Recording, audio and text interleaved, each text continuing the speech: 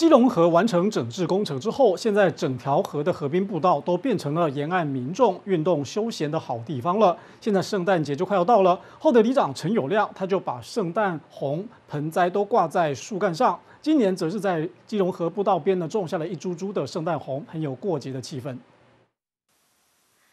来到基隆河步道厚德里这一段，看过去在绿绿一整排的金露花之外，最前面的一个区域全改种上了应景的圣诞红，相当抢眼。圣诞节就快到了，和往年不一样的是，今年里长是将原本挂在树上的盆栽改为种在土里，要装点基隆河步道。那河滨步道家我意向哦，拢是种几排金露花。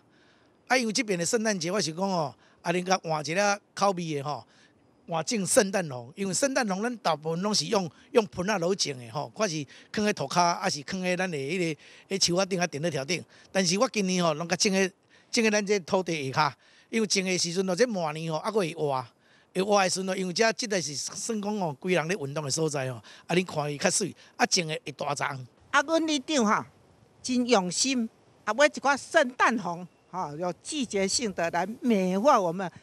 我们的河滨公园是后花园了哈，还买了一些花花草草的，真的很漂亮，看起来就是赏心悦目哈。大红色的圣诞红很吸睛，尤其在绿树及一整排的金露花衬托下，好有过节气氛。李明看了很喜欢。而在这段步道上，因为每天都有很多人散步休闲，所以也成了绿美花的重点。除了最近又新种下了不少当季的海棠花之外，还有就是特别修剪的金露花。李明说，俨然成了厚德里的后花园。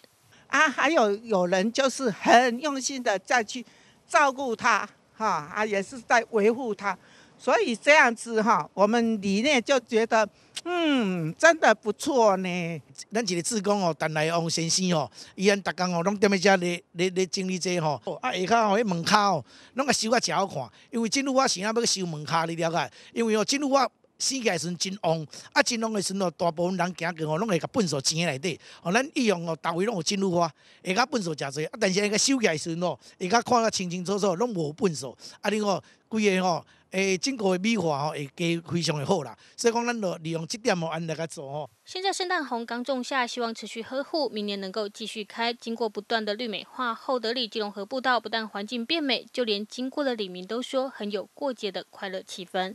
这陈惠玲细致采访报道。